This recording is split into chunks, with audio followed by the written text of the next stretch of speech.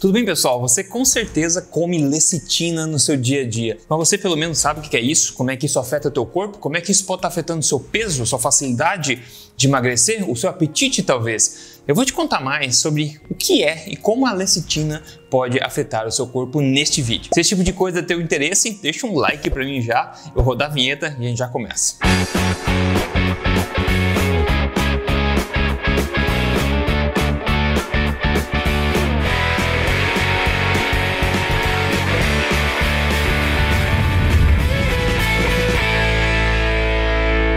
pessoal? Rodrigo Polesso aqui, pesquisador em ciência nutricional, também autor do livro best-seller Este Não É Mais Um Livro de Dieta. Eu tô aqui semanalmente contando para você as verdades sobre estilo de vida saudável, saúde, emagrecimento, nutrição, tudo baseado em ciência, tudo na lata do doer. Você pode ver um cenário novo que hoje estou gravando aqui do México. Pois é, os próximos vídeos vão ser aqui do México. Bom, o assunto é lecitina, né? Vou te contar nesse vídeo o que é essa lecitina, né? qual o impacto dela na sua alimentação e também quais são as fontes aí escondidas de lecitina que você bem provavelmente está consumindo regularmente também. Bom, lecitina geralmente pode ser feita de várias sementes, mas no geral a mais consumida é a lecitina de soja, que a gente vai ver aqui.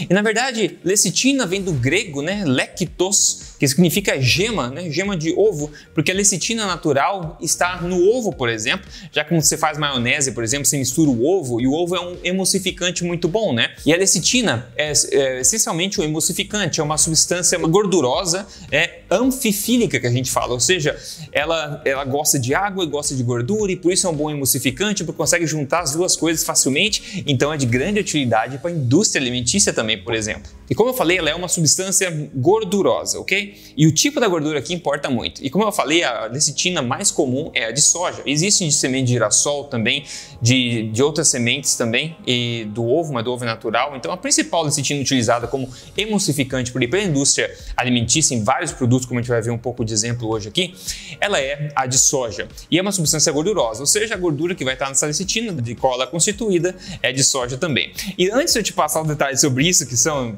impressionantes, na verdade, tem que contar os perigos né, revisar, na verdade, já falei muito disso, revisar os perigos do consumo regular em quantidade dos óleos vegetais, que são os óleos de semente, né, como óleo de soja, óleo de semente de girassol, óleo de milho, óleo de canola. Esses óleos são grandes toxinas, são pró-inflamatórios. Né? Escolhemos o seu apetite, eles são armazenados no seu corpo também, armazenam com os anos de consumo armazenando no seu corpo.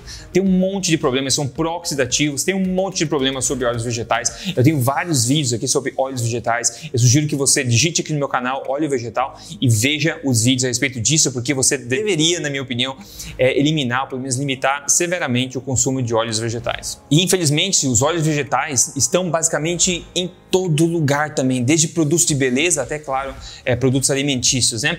E claro, muitas vezes, apesar de não estar escrito óleo vegetal no rótulo, você ainda pode estar ingerindo óleo vegetal com outros nomes, disfarçado, por exemplo, como é o caso de hoje, na forma de lecitina de soja. E a sacada é a seguinte: a lecitina de soja, feita de soja, você imagina que tipo de óleo de gordura que vai ficar nessa lecitina? Acertou? Gordura de soja. Como esse estudo aqui é um pouco antigo já, a gente sabe disso há muito tempo, na verdade. Olha o que eles falam aqui, eles mostram que um terço da composição da lecitina de soja é óleo vegetal, de 33 a 35% da composição da lecitina de soja é o óleo vegetal, o óleo de soja, aquele que a gente quer evitar muito. Então o ponto é basicamente, pessoal, eles estão incluindo óleo vegetal, que é essa coisa que desregula o apetite, pode fazer você comer mais, deixar você mais inflamado, tem um monte de problema com o consumo de óleos poliinsaturados, os óleos vegetais, muitos problemas envolvidos com isso. Então, por mais que você faça um esforço para tentar evitar o óleo vegetal na embalagem das coisas, o óleo de canola, óleo de milho, óleo de semente de girassol e o óleo de soja, como eu falei, você ainda pode estar consumindo esse óleo vegetal de várias outras fontes na forma de lecitina, porque 33 a 35% desse emulsificante, dessa lecitina, usada em todos os lugares, é puro óleo vegetal. E eu vou te contar agora as principais fontes assim de, de lecitina para você ficar esperto já de começo, ok? Antes disso, só lembrar, se você gosta disso, dá um like, você não segue o canal, siga o canal, porque eu sempre estou aqui com informação semanalmente bombástica para te ajudar a ser a melhor versão de você mesmo, na melhor forma, na melhor saúde. E te convidar também para ver meu podcast, se você gosta de uma levada mais conversacional sobre saúde, mentalidade, tudo baseado em evidência, baseado em, em ciência também. Podcast Papo Forte, só você entrar em papoforte.com.br, tem links do Spotify, do Google, da Apple, você pode assistir em vídeo também aqui no YouTube comigo, semanalmente. É um papo bacana onde você pode ficar atualizado e eu compartilho com você meus aprendizados e tudo que pode te ajudar de novo a ser a sua melhor versão, na melhor forma e na melhor saúde também, ok? Então escuta lá depois. Vamos lá então para algumas das principais aí, fontes de lecitina que você vê no mercado.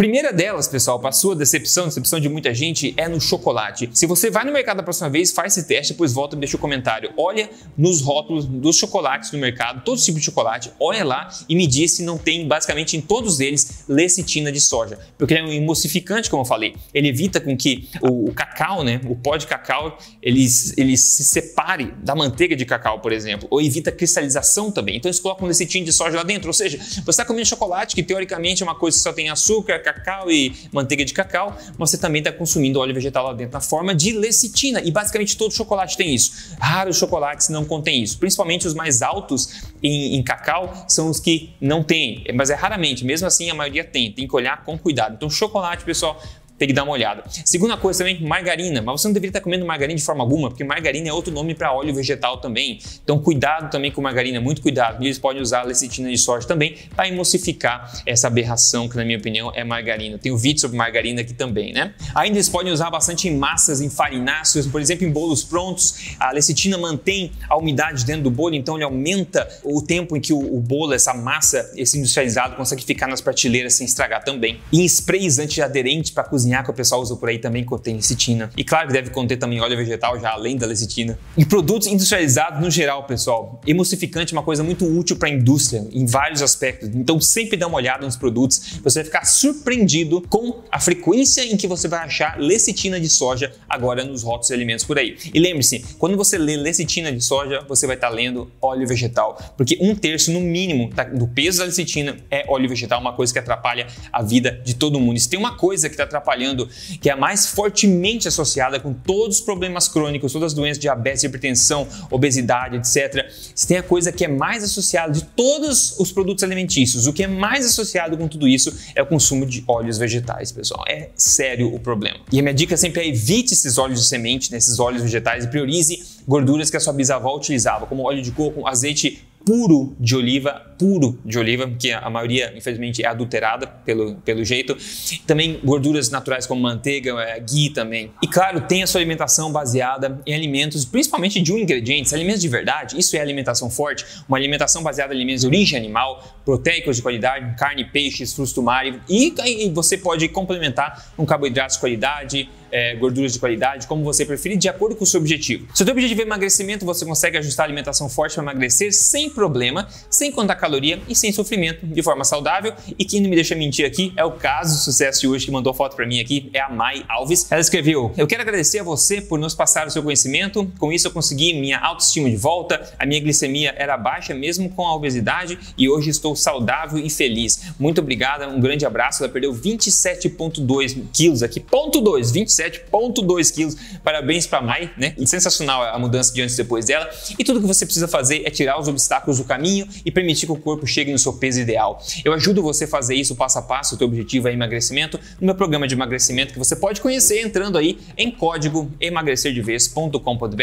Já ajudou quase 50 mil pessoas e pode ajudar você também. Então dá uma entradinha, dá uma olhadinha, a gente vai te acolher de braços abertos lá dentro e você pode entrar com risco zero e passe mental também. Você só vai investir se funcionar em você. Então dá dá uma olhadinha, código emagrecerdevez.com.br, dá uma olhada lá. Eu espero que você tenha curtido esse vídeo para você saber como, como desviar dessas armadilhas que a indústria coloca na frente da gente. Você pode estar consumindo óleo vegetal na forma de lecitina.